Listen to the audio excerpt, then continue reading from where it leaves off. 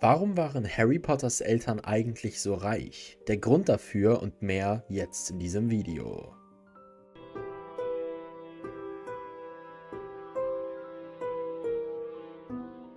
Im heutigen Video werden wir uns mit einer interessanten Frage befassen. Wie haben Harry Potters Eltern einen derart erstaunlichen Reichtum angehäuft? Was führte dazu, dass Harry Potters Tresor aus allen Nähten platzte, während der Tresor einer anderen Familie, den Weasleys, komplett leer war? Wir werden auch untersuchen, aus welchem Grund J.K. Rowling die Entscheidung traf, Harry Potter so wohlhabend darzustellen, wie er es war. Als der erste Band Der Stein der Weisen veröffentlicht wurde, erhielten wir einen ersten Einblick in den Inhalt von Harry Potters Tresor Nummer 687, als Hagrid ihn zu Gringotts der Zaubererbank begleitete. Griphook öffnete die Tür. Eine Fülle von grünem Rauch quoll heraus, und als er sich verzogen hatte, keuchte Harry auf. Im Inneren befanden sich Berge von Goldmünzen, Säulen aus Silber und Haufen kleiner bronzenen Münzen. Alles für dich, lächelte Hagrid. Als man diese Passage zum ersten Mal las, faszinierte einen Harrys unermesslicher Reichtum. Ging es dir auch so? Aber wie hat er das alles bekommen? Und wie viel war das? Und wie sahen diese richtigen Stapel von Goldmünzen eigentlich aus? Glücklicherweise wurde diese Szene in der Verfilmung von Der Stein der Weisen im Jahr 2001 zum Leben erweckt. So konnten wir endlich mit eigenen Augen sehen, was Harry gesehen hätte, als er zum ersten Mal den Tresor 687 betrat. Ich möchte aber auch darauf hinweisen, dass dieser Szene eine Frage von Harry vorausging. Aber Hagrid, wie soll ich das alles bezahlen? Ich habe doch gar kein Geld. Oh Harry.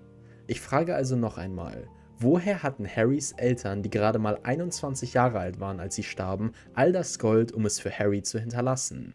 Es gibt zwei Komponenten für diese Antwort. Die erste beinhaltet die Kanonerklärung für das Gold mit detaillierten Informationen darüber, woher es kam, und die zweite beinhaltet eine Theorie, die ich gefunden habe, die möglicherweise erklärt, warum diese vorhandenen Goldstapel nach dem Tod von Harry Potters Eltern sogar noch größer wurden.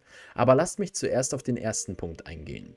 Als erstes muss festgestellt werden, dass der enorme Reichtum fast ausschließlich von James Seite der Familie stammte. Lily Evans war eine Muggelgeborene und es gibt keine Beweise dafür, dass ihre Familie über Generationen hinweg wohlhabend war. Wenn man dies berücksichtigt, wer war es dann, der das Potter-Vermögen anhäufte? Nun, einem Artikel auf Pottermore zufolge begann alles mit einem Zauberer namens Linfred von Stinchcombe, auch bekannt als der Potterer, dem Gründungspatriarchen der Familie Potter. Die Zaubererfamilie der Potters stammte von dem Zauberer Linfred von Stinchcombe aus dem 12. Jahrhundert ab, einem lokal geliebten und exzentrischen Mann, dessen Spitzname der Potterer im Laufe der Zeit zu Potter korrumpiert wurde. Linfred war ein undeutlicher und zerstreuter Mann, dessen Muggelnachbarn oft seine medizinischen Dienste in Anspruch nahmen. Keiner von ihnen wusste, dass Linfreds wunderbare Heilmittel gegen Pocken und Fieber magisch waren. Sie hielten ihn alle für einen harmlosen und liebenswerten alten Mann, der in seinem Garten mit all seinen komischen Pflanzen experimentierte. Sein Ruf als wohlmeinender Exzentriker kam Linfred sehr gelegen, denn hinter verschlossenen Türen konnte er die Reihe von Experimenten fortsetzen, die den Grundstein für das Vermögen der Familie Potter legten. Historiker hielten Linfred für den Erfinder einer Reihe von Heilmitteln, die sich zu Tränken entwickelten und die heute noch verwendet werden, darunter auch Skelewachs und der Aufpäppeltrank. Der Verkauf solcher Heilmittel an andere Hexen und Zauberer ermöglichte es ihm bei seinem Tod jedem seiner sieben Kinder einen beträchtlichen Haufen Gold zu hinterlassen. Wenn du Skelewachs wiedererkennst, dann deshalb, weil es heute noch verwendet wird. Vor allem als Beispiel in Harry Potter und die Kammer des Schreckens, als Harry sich ein Knochen bricht. Die Funktion von Skelewachs besteht darin, Knochen zu heilen. Es kann sowohl gebrochene Knochen reparieren, als auch Knochen nachwachsen lassen, die vollständig fehlen.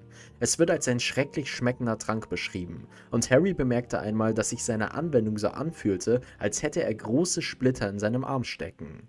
Ein weiterer Zaubertrank, den Linfred herstellte, ist der Aufpäppeltrank, ein Heilmittel gegen Erkältungen, das dabei hilft, den Trinker aufzuwärmen. Der Trank wurde in der Saga im Februar 1995 während des Trimagischen Turniers verwendet, als er bei den Geiseln der Champions eingesetzt wurde, nachdem diese aus dem Schwarzen See aufgetaucht waren. Die einzige bekannte Nebenwirkung ist, dass der Zaubertrank stundenlang Dampf aus den Ohren des Trinkenden aufsteigen lässt. Aber Linfred war nicht der einzige in der Familie, der erfolgreich wurde. Er gab nur den Anstoß dazu. Die Potters heirateten weiterhin ihre Nachbarn, gelegentlich auch Muggel, und lebten über mehrere Generationen hinweg im Westen Englands. Jeder erlangte seinen Erfolg durch harte Arbeit, und das muss gesagt werden, durch den stillen Einfallsreichtum, der ihren Vorfahren Linfred auszeichnete. Gelegentlich schaffte es ein Potter sogar bis nach London, und ein Mitglied der Familie saß zweimal im Zaubergamott. Und dadurch, dass viele der Potters in ihren jeweiligen Karrieren erfolgreich waren, wuchs das Familienvermögen langsam an. Erst als Fleemont Potter auf den Plan trat, wurde wirklich Öl ins Feuer gegossen. Fleemont war der Sohn von Henry Potter und der Vater von, na klar, James Potter. Das bedeutet natürlich auch, dass Fleemont Harrys Großvater war. Fleemont hat Harry zwar nie persönlich kennengelernt, aber er lebte lange genug, um ihm genug Gold für ein ganzes Leben zu hinterlassen. Fleemont war nämlich in der Lage, das Familienvermögen zu vervierfachen, indem er den bis heute berühmtesten Trank der Familie herstellte, Seidenglatz Haargel. Der Trank war eine Haarpflege und Kopfhautbehandlung, beworben mit folgendem Slogan: Zwei Tropfen zähmen selbst die widerspenstigste Glatze. Er wurde hauptsächlich verwendet, um widerspenstiges Haar zu bändigen und es geschmeidig sowie modisch zu stylen. Der Trank wurde von Hermine benutzt, als sie mit Viktor Krumm zum Weihnachtsball ging. Und kurz gesagt, der immense Reichtum der Potters ist auf den jahrhundertelangen Erfolg mit mehreren beliebten Zaubertränken zurückzuführen.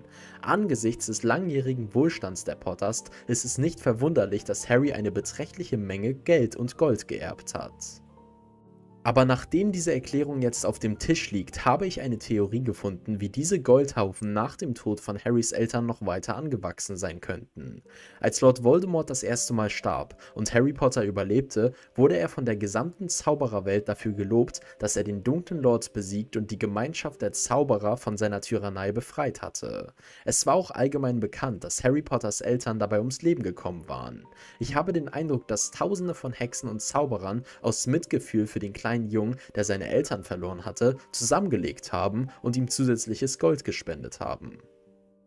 Das genaue Vermögen der Potters wäre für die gesamte Zaubererwelt unklar gewesen und so mag es von außen betrachtet so ausgesehen haben, als ob das neugeborene Kind nun vor dem Nichts stand, ohne Eltern und ohne Gold. Es liegt auf der Hand, dass die allgemeine Zauberbevölkerung überglücklich über Voldemorts Niederlage versucht hätte, Harry auf irgendeine Weise zu danken. Vielleicht konnten sie seine Eltern nicht zurückbringen, aber mit genügend Spendern könnten sie sicherstellen, dass er finanziell sorgenfrei ist. Wir müssen auch an die Lizenzgebühren Gebühren denken. Wenn Harrys Vorfahren bestimmte und beliebte Tränke herstellten, die noch zu seiner Lebenszeit verkauft wurden, dann wäre es doch eigentlich nur logisch, dass er Anspruch auf die Erlöse aus dem Verkauf dieser Tränke hat, jedenfalls zum Teil. Außerdem angesichts der Verbreitung dieser Tränke würde ich wetten, dass sich das schnell summieren würde. Nachdem die Frage, wie Harry an das Geld gekommen ist, geklärt ist, möchte ich als nächstes das Warum ansprechen. Warum in aller Welt hat Rowling beschlossen, Harrys Reichtum zu einem wichtigen Handlungselement zu machen?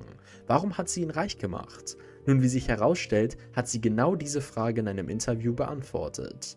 Woher hat Harry sein Geld? Nun, wie du weißt, ist Harrys Bankkonto in Gringotts. Sein Geld hat er geerbt von seinem Vater. Aber ich glaube, auf einer tieferen Ebene ist Harrys Geld in den Büchern nicht wirklich so wichtig, außer dass er sich seine Uniform leisten kann und so weiter. Andererseits glaube ich, habe ich ihm wirklich ein Vermögen geschenkt, weil ich so pleite war, als ich das erste Buch schrieb. Es war ein Wunschdenken, dass ich mir um solche Dinge keine Sorgen machen müsste.